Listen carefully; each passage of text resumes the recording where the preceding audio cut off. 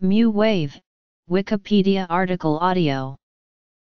Mu waves, also known as mu rhythms, comb or wicket rhythms, arciform rhythms, or sensorimotor rhythms, are synchronized patterns of electrical activity involving large numbers of neurons, probably of the pyramidal type, in the part of the brain that controls voluntary movement. These patterns as measured by electroencephalography, magnetoencephalography, or electrocorticography, repeat at a frequency of 7.5-12.5 Hz, and are most prominent when the body is physically at rest. Unlike the alpha wave, which occurs at a similar frequency over the resting visual cortex at the back of the scalp, the mu wave is found over the motor cortex, in a band approximately from ear to ear. A person suppresses mu wave patterns when he or she performs a motor action or, with practice, when he or she visualizes performing a motor action. This suppression is called desynchronization of the wave because EEG waveforms are caused by large numbers of neurons firing in synchrony. The mu wave is even suppressed when one observes another person performing a motor action or an abstract motion with biological characteristics. Researchers such as V.S. Ramachandran and colleagues have suggested that this is a sign that the mirror neuron system is involved in mu wave suppression, although others disagree. Mirror neurons Development Autism Brain-computer interfaces History Brain waves The mu wave is of interest to a variety of scholars. Scientists who study neural development are interested in the details of the development of the mu wave in infancy and childhood and its role in learning. Since a group of researchers believe that autism spectrum disorder is strongly influenced by an altered mirror neuron system and that mu wave suppression is a downstream indication of mirror neuron activity, many of these scientists have kindled a more popular interest in investigating the mu wave in people with ASD. Assorted investigators are also in the process of using mu waves to develop a new technology, the brain-computer interface. With the emergence of BCI systems, clinicians hope to give the severely physically disabled population new methods of communication and a means to manipulate and navigate their environments. The mirror neuron system consists of a class of neurons that was first studied in the 1990s in macaque monkeys. Studies have found sets of neurons that fire when these monkeys perform simple tasks and also when the monkeys view others performing the same simple tasks. This suggests they play a role in mapping others' movements into the brain without actually physically performing the movements. These sets of neurons are called mirror neurons and together make up the mirror neuron system. Mu waves are suppressed when these neurons fire, a phenomenon which allows researchers to study mirror neuron activity in humans. There is evidence that mirror neurons exist in humans as well as in non-human animals. The right fusiform gyrus, left inferior parietal lobule, right anterior parietal cortex, and left inferior frontal gyrus are of particular interest. Some researchers believe that mu wave suppression can be a consequence of mirror neuron activity throughout the brain, and represents a higher level integrative processing of mirror neuron activity. Tests in both monkeys and humans have found that these mirror neurons not only fire during basic motor tasks, but also have components that deal with intention. There is evidence of an important role for mirror neurons in humans, and mu waves may represent a high-level coordination of those mirror neurons. A fruitful conceptualization of mu waves in pediatric use is that mu wave suppression is a representation of activity going on in the world, and is detectable in the frontal and parietal networks. A resting oscillation becomes suppressed during the observation of sensory information such as sounds or sights, usually within the frontoparietal cortical region. The mu wave is detectable during infancy as early as 4 to 6 months, when the peak frequency the wave reaches can be as low as 5.4 Hz. There is a rapid increase in peak frequency in the first year of life, and by age 2 frequency typically reaches 7.5 Hz. The peak frequency of the mu wave increases with age until maturation into adulthood, when it reaches its final and stable frequency of 813 Hz. These varying frequencies are measured as activity around the central sulcus, within the Rolandic cortex. Mu waves are thought to be indicative of an infant's developing ability to imitate.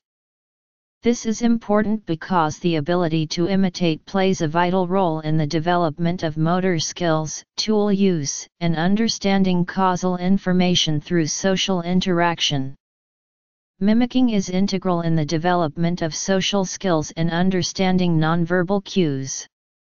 Causal relationships can be made through social learning without requiring experience firsthand.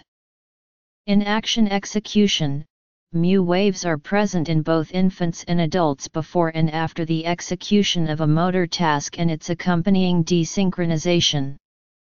While executing a goal-oriented action, however, infants exhibit a higher degree of desynchronization than do adults. Just as with an action execution, during action observation infants' mu waves not only show a desynchronization, but show a desynchronization greater in degree than the one evidenced in adults. This tendency for changes in degree of desynchronization, rather than actual changes in frequency, becomes the measure for mu wave development throughout adulthood, although the most changes take place during the first year of life. Understanding the mechanisms that are shared between action perception and execution in the earliest years of life has implications for language development. Learning and understanding through social interaction comes from imitating movements as well as vowel sounds. Sharing the experience of attending to an object or event with another person can be a powerful force in the development of language. Autism is a disorder that is associated with social and communicative deficits. A single cause of autism has yet to be identified, but the mu wave and mirror neuron system have been studied specifically for their role in the disorder. In a typically developing individual, the mirror neuron system responds when he or she either watches someone perform a task or performs the task him or herself. In individuals with autism, mirror neurons become active only when the individual performs the task him or herself. This finding has led some scientists, notably V.S. Ramachandran and colleagues, to view autism as disordered understanding of other individuals' intentions and goals due to problems with the mirror neuron system. This deficiency would explain the difficulty people with autism have in communicating with and understanding others. While most studies of the mirror neuron system and mu waves in people with autism have focused on simple motor tasks, some scientists speculate that these tests can be expanded to show that problems with the mirror neuron system underlie overarching cognitive and social deficits. Based on findings correlating mirror neuron activity and mu wave suppression in individuals with autism as in typically developing individuals, studies have examined both the development of mirror neurons and therapeutic means for stimulating the system. A recent study has found that fMRI activation magnitudes in the inferior frontal gyrus increase with age in people with autism. This finding was not apparent in typically developing individuals. Furthermore, greater activation was associated with greater amounts of eye contact and better social functioning. Scientists believe the inferior frontal gyrus is one of the main neural correlates with the mirror neuron system in humans and is often related to deficits associated with autism. These findings suggest that the mirror neuron system may not be non-functional in individuals with autism, but simply abnormal in its development. This information is significant to the present discussion because mu waves may be integrating different areas of mirror neuron activity in the brain. Other studies have assessed attempts to consciously stimulate the mirror neuron system and suppress mu waves using neurofeedback. This type of therapy is still in its early phases of implementation for individuals with autism, and has conflicting forecasts for success. Brain-computer interfaces are a developing technology that clinicians hope will one day bring more independence and agency to the severely physically disabled.